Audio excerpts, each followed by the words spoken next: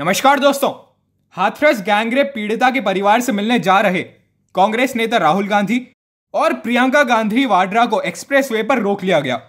UP police की ओर से नोएडा के पास से ही एक्सप्रेस वे पर राहुल गांधी के मार्च को रोक लिया गया।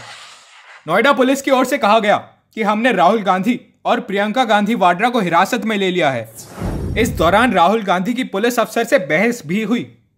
राहुल ने पूछा कि यह तो बताओ कि कौन सी धारा पर गिरफ़्तार कर रहे हो? मीडिया को समझाइए। मैं अकेला जाना चाह रहा हूँ। अकेले जाने से धारा 144 का उल्लंघन नहीं होता।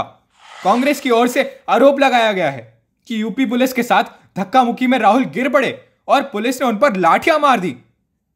दोस्तों, आपको बता दें कि नोएडा पुलिस का कहना है कि हाथरस प्रशासन की चिट्ठी है कि अगर राहुल गांधी और प्रियंका गांधी वहाँ आते हैं तो कानून व्यवस्था बिगड़ सकती है। पैदल मार्च के दौरान ही प्रियंका गांधी वाड्रा ने ट्वीट कर जानकारी दी कि पुलिस ने लाठीचार्ज किया, जिसमें कई कार्यकर्ता घायल हुए। प्रियंका ने लिखा कि हाथरस जाने से हमें रोका। राहुल जी के साथ हम सब पैदल निकले तो बराबर हमें रोका गया।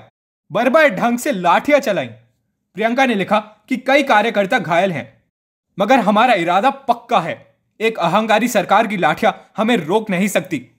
काश यही लाठियाँ, यही पुलिस हाथरस की दलित बेटी की रक्षा में खड़ी होती। तो दोस्तों, इस वीडियो के लिए बस इतना ही। अगर आपको वीडियो पसंद आए तो लाइक शेयर और चैनल को सब्सक्राइब करना मत भूलिएगा। धन्यवाद।